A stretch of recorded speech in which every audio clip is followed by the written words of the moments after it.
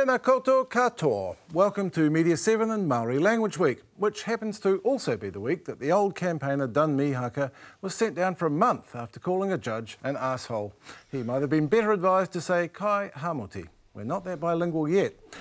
This is also the first week on sale in New Zealand of the year's most talked about media gadget, the Apple iPad. And it's the debut week of a new TV series from one of the creators of Outrageous Fortune. But first, the iPad. Jose Barbosa explains.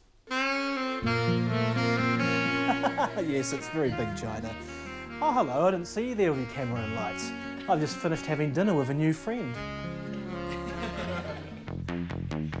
Friend or foe, distracting doohickey or useful brain tool. The iPad's here now, and like chumps, you're all slobbering over it. Like mindless zombie. Oh my god, this game is so addictive, it's like crack! It's a multi-touch thingy, pretty much a window for looking at and touching stuff. Local print media's come to sup at Apple's feet. Using the online store, one can buy issues of North and South, or read your favourite Garth George column in the New Zealand Herald application. Thanks to the iPhone and the iPad, Apple is now the biggest thing created by man. Apple is now the world's biggest tech company based on a market value of more than 220 billion US dollars. And it makes money, lots and lots of money. And the company posted net income of over 3 billion US dollars in the quarter, up 90% from the 1.7 billion in the same period a year ago. And accordingly, anything Apple does gets covered by the news. TVNZ's Tim Wilson was there when the iPad went on sale in the States. And the reason I came here for because I want the iPad really bad. The hysteria was so great it was like Apple had combined religion, soccer, and chocolate into a handheld device. This is so exciting. But by the time the thing went on sale here, it was as if the romance had left the relationship, leaving only disillusionment and bitterness. The device has no keyboard, no USB input, no camera, and can't run more than one application at once. Meanwhile, TV3 gave the launch 30 seconds early in the day. The official New Zealand launch of Apple's iPad has happened with little fanfare. Although the two channels' coverage was so similar, one suspects they went halves on a camera crew to save cash. And perhaps that's just as well. After all, it's not the job of the 6 o'clock news to market Apple's products, which it can do quite well itself. So that's the iPad. And it's good night from me, and it's good night from him. Jose Barbosa there. I'm glad he's got some friends. With me now are two people putting local media on the iPad the New Zealand Herald online editor, Jeremy Rees, uh, North and South magazine editor, Virginia Larson, Hi. and go to gadget guy, Ben Gracewood. Welcome to you all. Jeremy, why did you feel the need to create an application for the iPad? What's wrong with your website?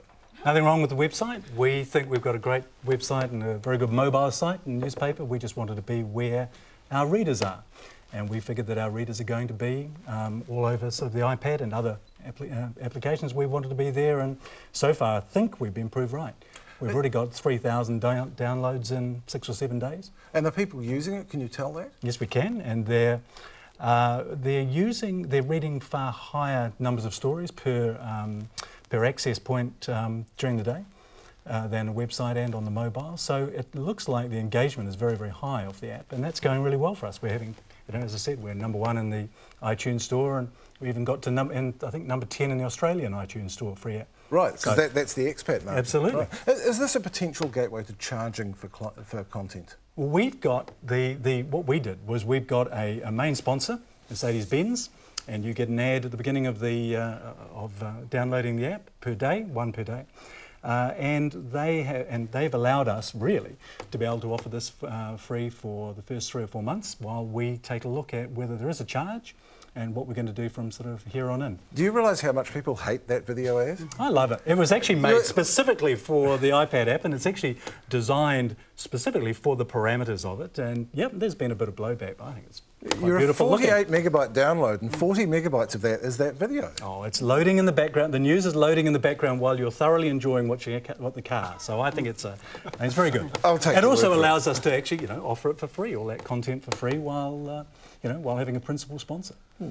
Um, Virginia, um, why is North and South, which doesn't even have a website, uh, all of a sudden uh, first out there on the iPad? Well, Actually, ACP Magazines has always been quite selective about websites across the titles. And, you know, look, I perhaps could have fought for one a year or so ago, but I'm really glad we waited because the iPad, the tablet, is just a perfect device for magazines. It's just, it's re-engineered, but it just, it's a magazine reading experience, and I think it was worth waiting to make that jump. I think in some ways the website is almost, it's, too, it's busy, it's buzzy, it works for daily newspapers, but I think the iPad for magazines is just superb. And the web hasn't really worked that well for magazines, has it?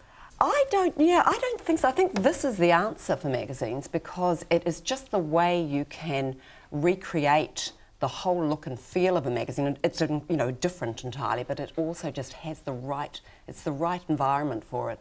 Was there anything to look at? You know, anyone else's work to um, to gauge, you know, to Not- work out what you wanted to do? Not a lot. We, we did sort of look at some of the US, the Esquires and the GQ. So we, we had a little bit to kind of work around when we were designing ours. But we had, we had good advice, and I think we've found a model that really works for our magazine. And your model is you're, you're charging for the magazine straight off the bat. How's that going?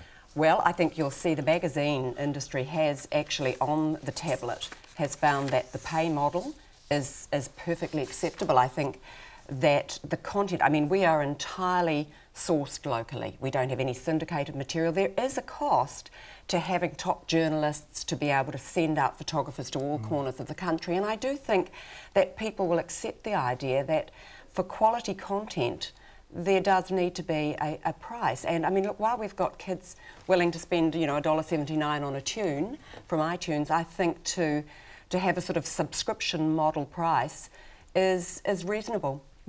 Ben, um, you were an early adopter. You got yours from the US before there was any local content, before there was a local iTunes store. Might it not have been better to wait? No, like a dedicated geek, you know, I got one to send one over, someone to send one over on, on launch day, and um, and gorged myself on it. Had it for candlelit dinners. I called it her rather than him, like not like Jose, and, and had it at the breakfast table, and and really sort of like I say, gorged myself on, on the technology, and, and loved it for a while until the shine wore off. Uh, yeah, and the shine, the shine's worn off a bit for you, hasn't yeah, it? it's now at school with my son, my six-year-old son, donated to the school because we, you know, we love the local school, and um, I think that's where I found that the usage was, um, for me, as a perhaps an atypical user with two laptops and two desktops at home.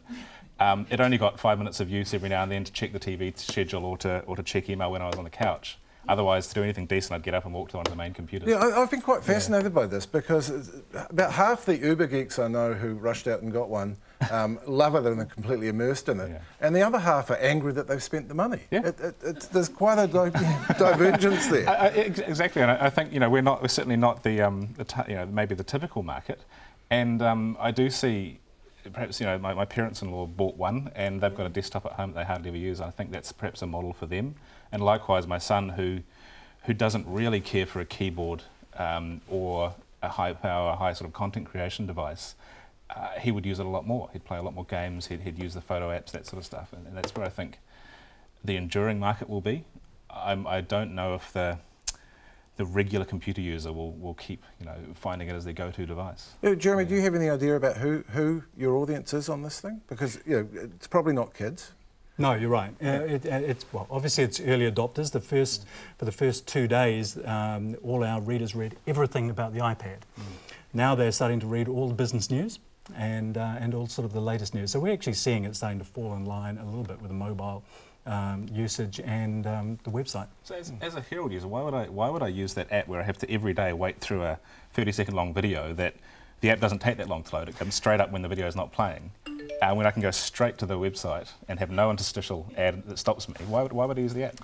We wanted to design something that was not the not the website, not the newspaper, and fitted absolutely the the design of an iPad.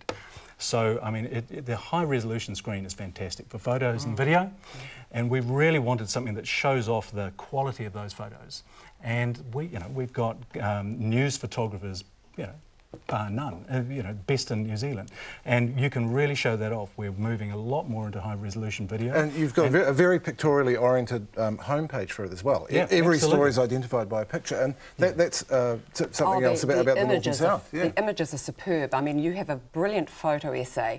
You're restricted in your print Mm. edition because you might have eight pages. The iPad allows you to add all those extra images. And, and for us, you know, there's a very big expat audience. I mean, what, how many New Zealanders? Over 400,000. Mm. Um, sending a print magazine is an expensive exercise. Now, here you have something where in London or wherever, you know, they can immediately have access to a homegrown publication and just all that opportunity for extra images and videos. And you can tell people when there's a new issue because um, as we've been sitting here, uh, Australian Gourmet Traveller has told me that the August issue of Gourmet Traveller is now available. Download now. there we go. Ben, do you think this is just the first of these kinds of devices? I mean, Apple is typically out in front of the market. Uh, are we going to see more? Uh, yeah, definitely. I mean, there's already there's already many um, you know been announced Android tablets. You know, um, Windows will, will shout from the rooftops that they've had tablets for years. You know, the sort of thing. They haven't done it well, but they've had them.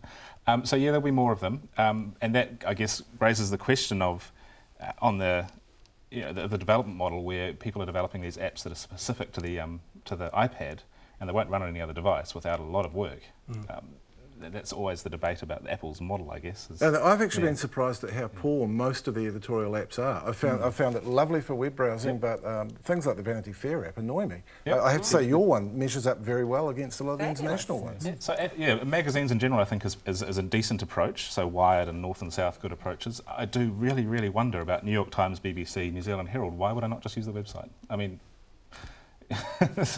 Speaking of yeah. which, if I am using your website, Jeremy, I can't see any of your videos because they're in Flash. They need to be in HTML5 video. Mm. Uh, is that coming? Oh, we're, we're having a look at everything for the, for the future for our videos so that it can play across every device because we want it to be seen everywhere where our users are. So, yeah. So, the, the work you've done on this, can you repurpose that work to any of these future devices? We'd hope so. Um, but, you know, there are, there are going to be limits but we, we want to be able to sort of spread whatever we can do across as much as we can. You know. Well, fo basically follow users. Where, where, are we going with this? Where are we heading? Because it's been touted already. Rupert Murdoch has said as much that this is potentially the saviour of print because newspapers can't make money via their websites, but maybe they can through apps on these things. Is that going to happen? I actually, th uh, I think he's wrong on two, uh, two fronts. First of all, I don't think a lot of newspapers, certainly not the Herald, it doesn't need a saviour. The readership is uh, about, figures are about to come out. They're going to show that they're second highest in 10 years. Um, so uh, the Herald, despite all, is, is, doing very well, despite actually having sort of strong digital um, platforms. But secondly, I think there's only going to be one part of it you know, and I think we're going to get used to actually sort of a lot more, you know, the Herald being on mobile, the Herald being on, on apps, and, and they're trying to get the Herald everywhere so well, that it's a part of the pro. On that thrilling note of the Herald everywhere. oh, we want that. um, I'm going to conclude here. Uh, that is all. Thanks very much to Jeremy Reeves, Virginia Larson, and Ben Gracewood. After the break, Rachel Lang talks about This Is Not My Life, and Sarah Daniel looks at a hitch for Hitch.